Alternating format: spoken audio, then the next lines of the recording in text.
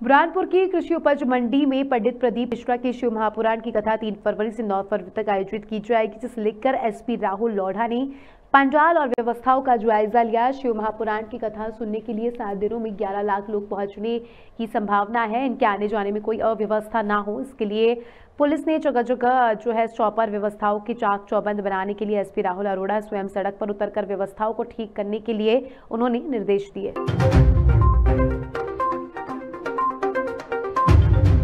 कथा व्यवस्था को लेके जो है, वो अलग से हमने पुलिस बल मांगा है, जिसके अंदर हमें लगभग 250 एक्स्ट्रा बल मिला है। साथ साथ में एसएफ की तीन कंपनियाँ भी जो है, वो बुरहानपुर ज़िले को आवंटित हुई है। पूरी व्यवस्था हम लोग प्लान कर चुके हैं।